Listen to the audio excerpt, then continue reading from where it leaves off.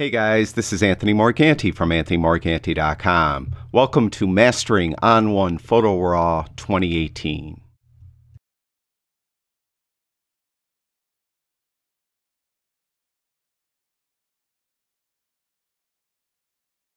In this video, we're going to take a look at using ON1 Photo Raw 2018 as a Photoshop plugin. And as you can see, I have this image opened up in Photoshop, and let's say I want to send it over to ON1 Effects.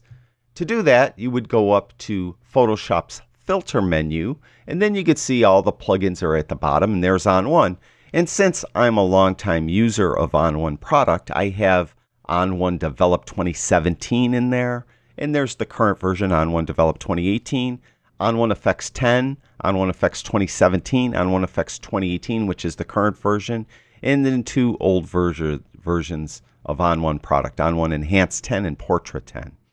Now, if you're a new user to ON1 product and your um, ON1 Photo Raw 2018 is the first um, version of ON1 that you own, you'll be able to send anything from Photoshop into two ON1 modules. And those are, of course, ON1 Develop 2018 and ON1 Effects 2018. You won't be able to send it into the other modules, mainly because the other modules can be done in Photoshop, meaning resizing the image and layers, all that stuff could be done in Photoshop. So we have Develop and Effects 2018. I caution you though, do not send just this background layer over into any plugin, including ON1 Photo Raw 2018, because all your adjustments will be done on this layer.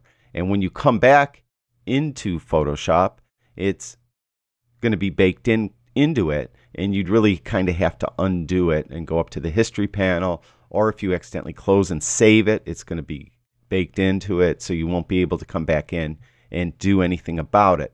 So it's good kind of Photoshop practice to duplicate the background layer by hitting Command J if you have a Mac, Control J if you have a PC, then do any plugin adjustments on that duplicate layer. So then you would go up to Filter, down to ON1, and in my case, ON1 Effects 2018. But I must caution you some more. If you don't have a real layer here, if you have, let's say, an adjustment layer, let's say we're going to add vibrance uh, to the image. So I added vibrance. So I have this vibrance adjustment layer. And you try going up to Filter, you'll notice that these are all grayed out. You cannot put these plugins or these filters on an adjustment layer. So you'll need to do one of three things. You either need to flatten the entire thing out totally, and to do that, you'd have to go up to Layer and then all the way down to Flatten Image. Or you would have to just flatten this adjustment layer with the layer below it or combine them. And to do that, you would hit Control or Command E on your keyboard, and that will flatten just those two together, and then you'll be able to uh, do your adjustments on that layer. Or finally, you could get a merged layer of uh, what I have here happened. I happen to have three layers. I could merge all those together, but not lose them. Just put that merged layer on top of the layer stack. And to do that, you have to do a kind of finger twister thing, uh, keyboard shortcut. And if you have a PC, the keyboard shortcut is Shift Alt Control E. And when you do that, it will combine those existing layers and put this final layer at the top. If you have a Mac, that keyboard shortcut is Shift Option Command E as in Edward. Then, when you go up to Filter, you'll be able to go to any of your plugins, including ON1. Now, in my case, I'm just going to delete those two, and I have my copied layer, and I'm going to send it over to ON1 Effects. So I'm going to go up to Filter, down to ON1, and of course I want to use the current product, ON1 Effects 2018. And what it will do, it now will take this and it will open up in ON1 Effects, and you could put all the effects on like normal. But there are some little quirks that I need to warn you about. All right, we have the image opened up in ON1, and I'm just going to quickly do the most common adjustments I tend to do uh, to an image. And we'll go to dynamic contrast. I know I'm not really saying what I'm doing, but we have 30 odd videos on On1 product where I demonstrate everything. So I think you could watch some of that and you'll understand uh, these um, filters that I'm adding. So I so far added sunshine tone enhancer, dynamic contrast, and I'm going to add a vignette. And I'm going to add a strong vignette. Yeah, that looks pretty good. So I'm done with the filters. I want to return to Photoshop. So I'm going to click done. And it will render now this layer and return us to Photoshop. But there's a couple things I need to warn you about with using On1's plugin, Photoshop plugin. And this really applies to just about any plugin in Photoshop. So you could um, understand that. Now, okay, now here is our layer that I did On1 on. So I could turn it off.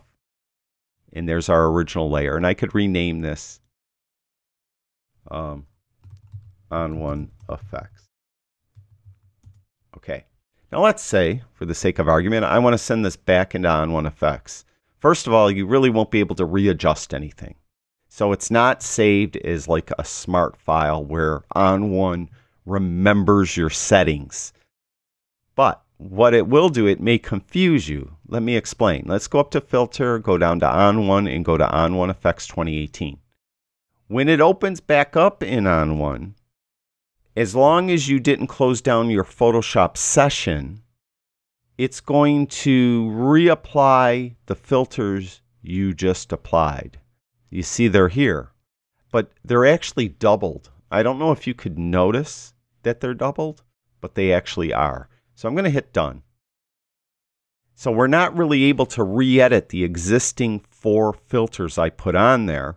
In effect, what we now have are those filters on our image applied twice. And I'll prove it to you in a second if you don't notice how overly processed now this image is. But you'll see once it comes back into Photoshop, there it is. Okay, now we have that here. Now there's the original and there's our processed image. If I go up to history, you can see down here that I sent it On1 here, then I changed the name to On1 Effects, and there I sent it to On1 Effects again. Let's go to the name change when I change the name and look at the image. You can see it is now a lot less processed. That's because we applied everything twice. So you cannot actually go back in and readjust any of your settings.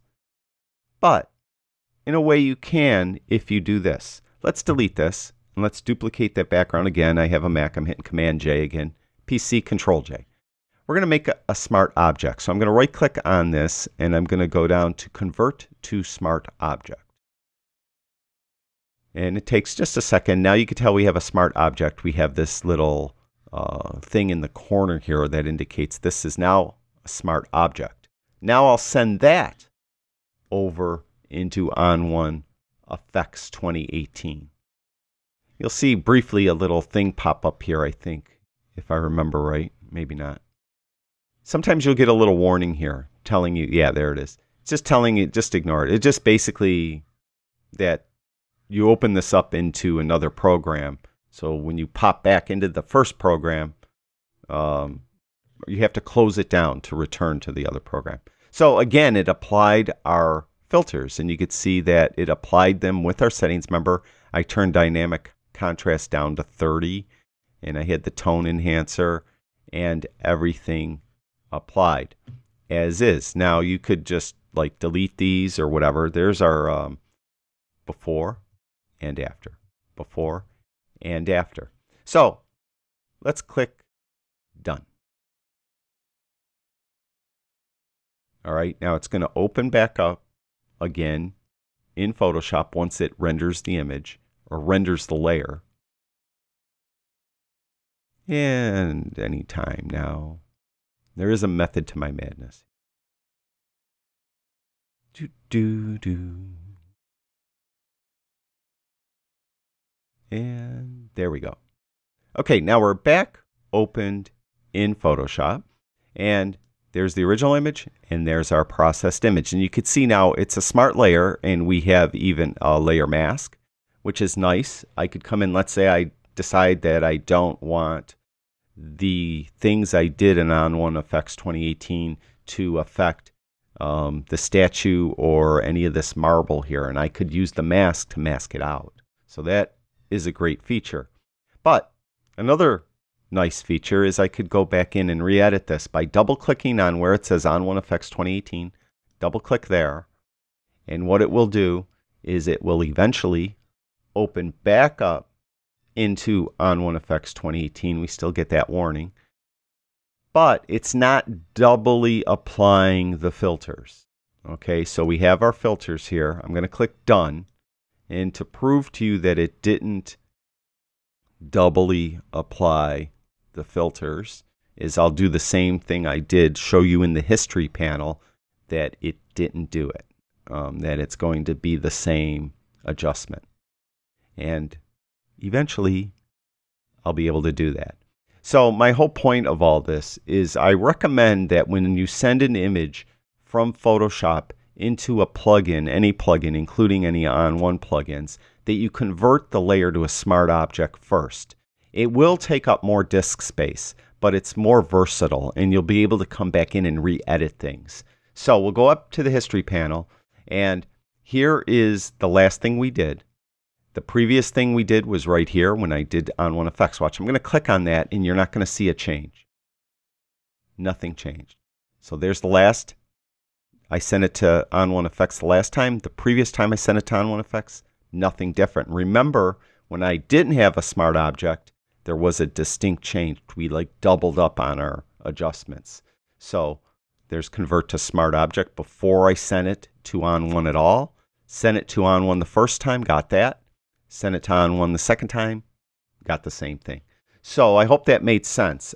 And I hope I um, emphasized how it's my opinion that before you send an image over to any plugin, including On1 Photo Raw 2018, that you do it as a smart layer. I think it just offers a little bit more versatility. And again, the only um, filters available as a plugin in Photoshop will be the develop module and the effects module. Um, unless you have legacy versions of On1, you'd have portrait and enhance as well. But um, again, most of you probably don't. So it's going to be the effects module or the develop module, and you'll be able to use it as a plugin. And when it's on its own layer like that, you could turn it off, turn it on. You could adjust the opacity. So if it's a little too heavy, you could bring that opacity of that layer down so it's not as strong. Let's say bring it down to 35% and it's not as strong. So you have a lot of um, options when you do use On1 as a Photoshop plugin. That's it for this video. Thank you everyone that watches my videos. I truly do appreciate it. I'll talk to you guys soon.